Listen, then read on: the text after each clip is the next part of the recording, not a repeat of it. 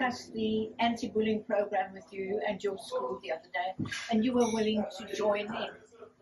Why was that? What do you see by joining in for your school and the future thereof?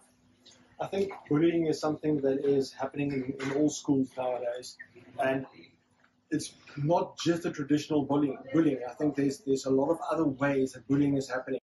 For us, it's very, I think, a great opportunity to create awareness about bullying, get the students to actually take responsibility for, for everything they do, what they say, and just to think before they do.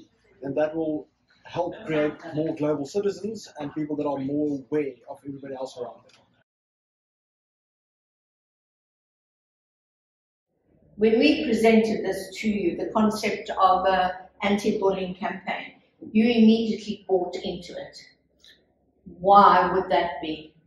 I think that one's quite an easy one. We have been noticing a major increase in niggles between learners and stuff like that. Um, it became especially bad thing during COVID and stuff. So with the return to, to full schooling last year, um, learners were not in a good place, parents aren't in a good place. Um, and we were picking up that there were lots of microaggressions, almost little bullying incidences that were happening, and learners weren't even aware that what they were doing was called bullying. And what we teach the students in learning skills is basically self-regulation.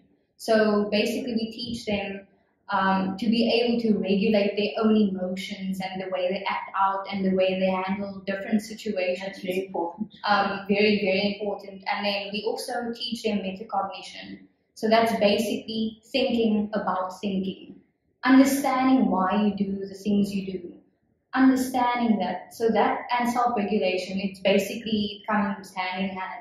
And then another thing is oracy. So the ability to fluently express yourself to others.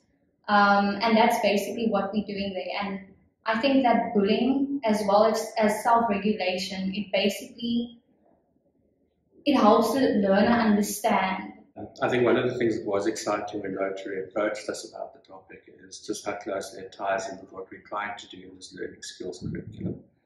So it made sense for us to partner with you guys to get this idea forward and to give it a bit more impetus. It means that we can get some community involvement as well. So yeah. we're very excited about that aspect of the project. The anti-bullying campaign at both schools will begin with a survey that will ascertain where students are with their understanding of bullying, their feelings about it, how prevalent it is in their lives and in the school specifically. And from there, it will be up to each school to implement the program into their curriculum the way they see fit. We're very excited about this anti-bullying campaign uh, that we are putting on through the Knysna Rotary Club into these two schools in our area. But we hope it goes beyond these two schools and reaches into all of the schools in Knysna and even beyond.